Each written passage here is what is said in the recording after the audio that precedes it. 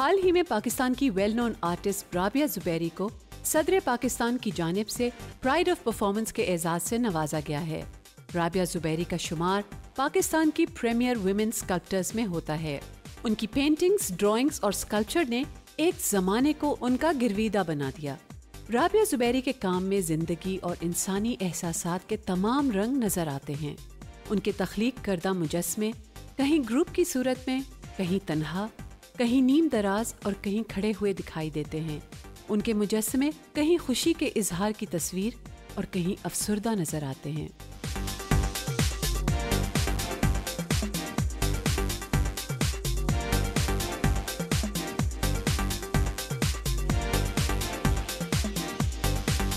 رابعہ زبیری کو pride of performance ملنے کی خوشی میں ایک ڈنر کا اہتمام کیا گیا۔ اس تقریب میں شہریوں اور رابعہ زبیری کے ساتھیوں نے بڑی تعداد میں شرکت کی۔ یہ تو جو ان کو پرائڈ آف پرفارمنس ملا ہے یہ ہمارے یہاں ہر سال اور ہر آرٹسٹ کو جو بہت سارے آرٹسٹ اسی طرح کے ہیں ضرور ملتے رہنے چاہیے۔ ایک لیبر پین ہوتا ہے جسے اردو میں زرد درد ذیل کہتے ہیں۔ اس کے بعد کوئی پیدائش ہوتی ہے۔ لیکن ایک کریشن کا بھی درد ہوتا ہے۔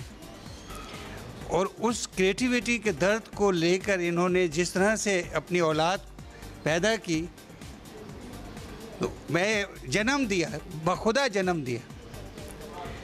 اور دو ڈھائی ہزار اولادیں ہیں۔ اس سے بڑی بات کیا ہو سکتی ہے کسی کے لیے؟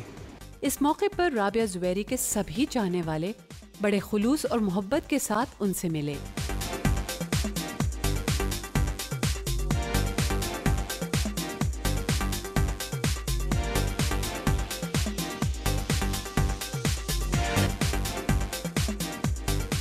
سب سے بڑی بات یہ ہے کہ رابعہ اپا کی بنیاد جو انہوں نے رکھی ہے آرٹ کے لیے، وہ کراچی اسکول آف آرٹ سے تعلق ہے ان کا۔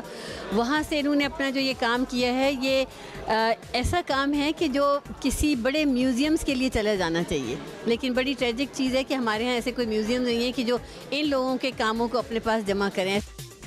رابعہ زبیری نے اس موقع پر اظہار خیال کرتے ہوئے کہا، یہ میرا جو پورا پروگرام تھا، میں نے یہی سوچا تھا کہ سب کو ایک ساتھ کروں تاکہ لوگوں کو پتہ چلے کہ میں ایک اچھی آرٹسٹ ہوں، بری ہوں، کیسی میری شخصیت ہے، کیا میں ہوں؟ تو اسی لیے میں نے جو ہے نا، یہ سب ایک ساتھ کا ایگزیبیشن بھی اور پرائڈ آف پرفارمنس بھی اور میری بک لانچنگ بھی، سب میں نے ایک ساتھ کری۔ اور اس سے یہ یہ اچھا لگا کہ میرا کام بھی لوگوں نے دیکھا اور مجھے سمجھا بھی۔ اور میری کتاب جو میں نے پہلے ایک کتاب نکال لی تھی اور اس دفعہ ایک بکلیٹ نکالی جس میں میرا سارا کام، جو ابھی نیا کام تھا، وہ میں نے اس میں نئی جو بکلیٹ میں نے نکالی ہے، اس میں سب شامل ہے۔